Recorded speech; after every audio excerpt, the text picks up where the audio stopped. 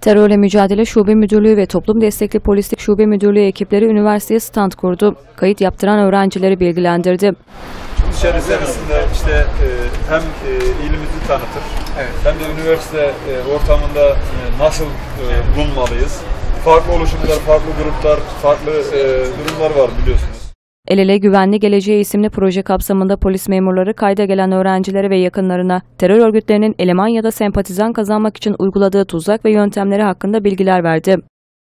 Süt İmam Üniversitesi'nde stand kuran polisler özellikle başka şehirlerden gelen öğrenci ve velileriyle birebir iletişime geçti. Coğrafyalardan, farklı illerden, farklı kültürlerden insanlar yerler burası.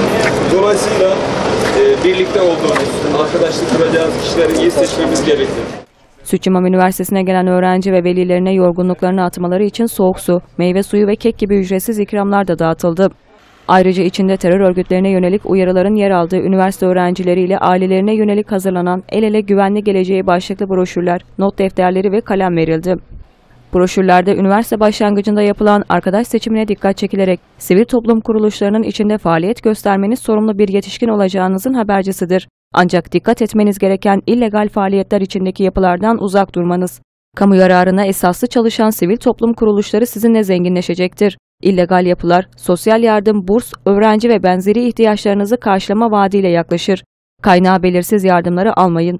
Terör örgütleri gençlerin sosyalleşme ihtiyacı, kimlik ihtiyacı ve yalnızlık duygusundan faydalanır. Yalnızlıktan kurtulmak için tehlikeli sulara demir atmayalım uyarısı yapıldı.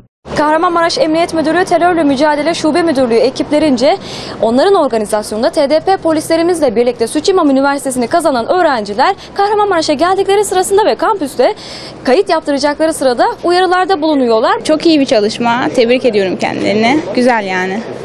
Teşekkür ediyorum tabii bunların içinde. Yeni eğitim öğretim sezonunun öğrencilerimize ayrıca eğitim hayatına başarılı olmasını diliyorum.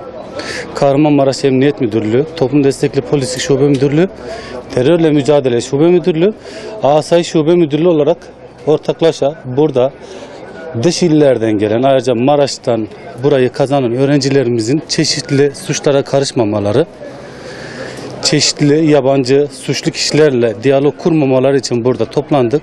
Hem kendilerine bir takım hediyeler veriyoruz hem de kendilerini bu konularda uyarıyoruz. Çok haklılar çünkü ben ilk üniversitemde birkaç sorun yaşamıştım.